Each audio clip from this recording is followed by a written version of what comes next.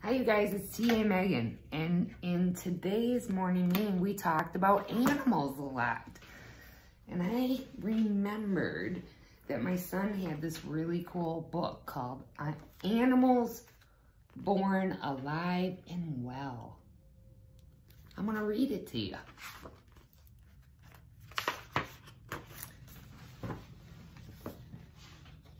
Winter, summer. I'm sorry, winter, spring, summer, fall. A hare's hair changes with them all. That's the same hair. That's what people call rabbits sometimes, but their fur changes with the season so that they're camouflaged. Mammals are animals with fur or hare who nurse their young and breathe fresh air.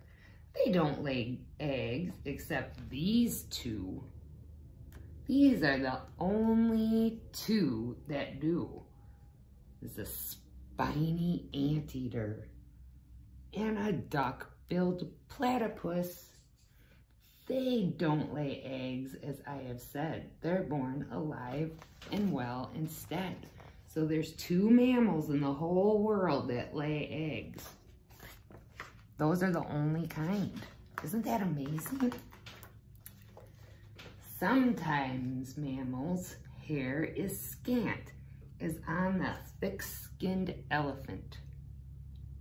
So these are pictures of African elephants. Look at the babies. Are they cute? But here's a pair with lots of hair. They're types of dogs. This one's called a Pekingese. This one's a Yorkshire Terrier. Look at his face. They're both pretty cute. You notice, I think most animals are cute. And here are lots with stripes and spots. Look at all those. We'll go through their names. So here we have an okapi, or okapi. We have zebras, a ring-tailed lemur. Ooh, tigers. I didn't even see the tiger. He's so well hidden. And a leopard, also camouflaged. We have a giraffe. And this last one is a different kind of leopard called a cloud leopard. You see how his spots are so much bigger? And these mammals have scales and spikes and nails. But all of them are mammals. So this one hanging here is a pangolin. And this one is a three-banded armadillo. Here's a nine-banded armadillo. And last, we have a porcupine.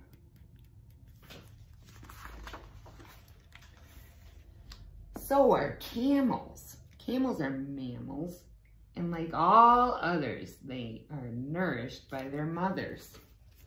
So look at all the camels. You see the baby down here? Drinking milk from its mama. Mammals wild. There's a gazelle. We have a deer. Lots of deer in Minnesota, aren't there? And this little animal down here is called a stoat. And they are related to ferrets. So mammals wild and mammals tame. All do more or less the same. There's a mama kitty with her baby kittens on a bed. My cat does that a lot, laying around on the bed. Now, marsupials are a bit different, but they are still mammals. When they are very, very small, into their mother's pouches, they crawl and grow, just like this kangaroo. So marsupials are a type of mammal where the mommies have a big pocket that the baby can fit in to stay warm. And there's koala bears. They're a type of marsupial. That's a big word, isn't it? Mammals all breathe air, you understand. This isn't hard for those on land. Look at all these types of mammals. Let's go through them, okay? We have a moose, a mandrill, a panda, a guinea pig, a kangaroo rat, an aardvark, a rhinoceros, a bighorn sheep, a weasel, a hare, a squirrel, and on this side, we have this big deer is called a fallow deer. We have a bison, a wild goat, a red fox, a hippopotamus, a giant anteater, and what's this last one? A prairie dog. So, this isn't hard for those mammals on land or even those underground. Oh, look at that. Who's this animal? That's a mole. And they have a tunnel house. You see, there's a babies. There's a mommy or a daddy. Or those who fly. At those bats. Bats are mammals like us. Or all of these that climb up so high. Look at all those different ones. Let's go through them. We have a gibbon. We have a tarsier. Look at the big eyes. We have a marmoset, a baboon. It's one of my favorite words to say, baboon. We have spider monkey, a gibbon. There's a silly gibbon at the Minnesota Zoo. A sloth, and this animal's called a bush baby.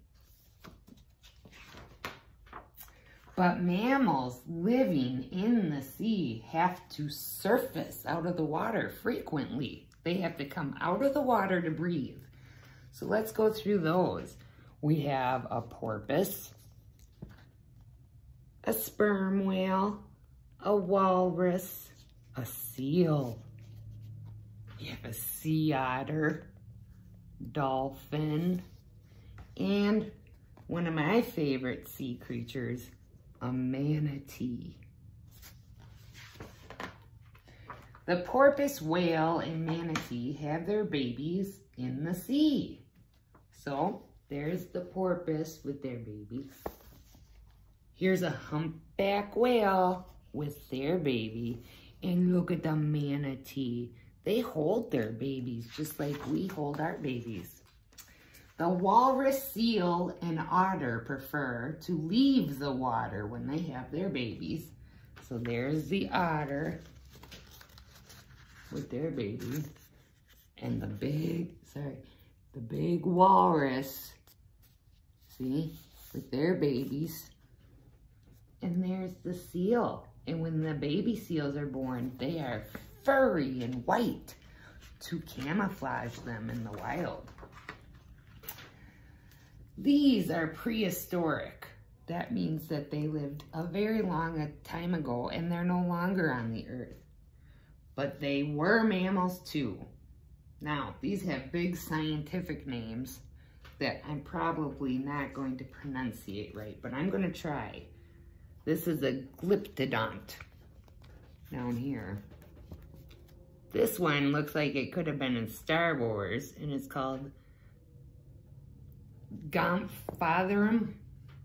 You got me, but looks like it could have been a Star Wars creature.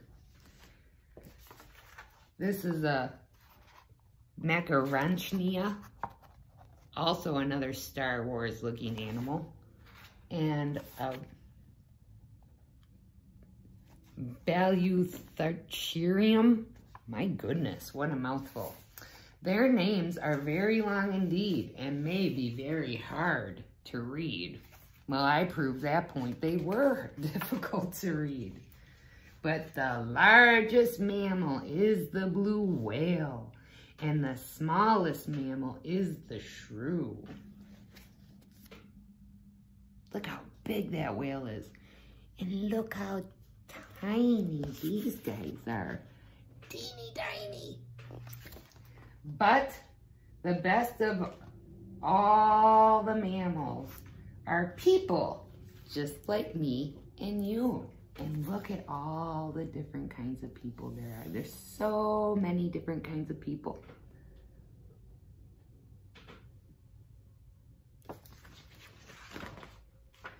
There's no more to discuss. Everybody who's born alive is viviparous. From cheetahs, tapirs, hedgehogs, lions, pigs, sheep, and horse. Look at those animals.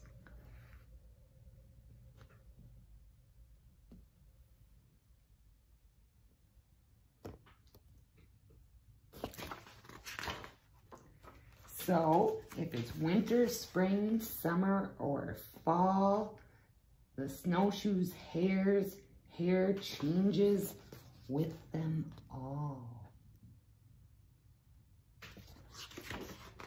That's the end of that book. I hope you like animals born alive and well. I hope you're doing well today. And I will see you later. Bye.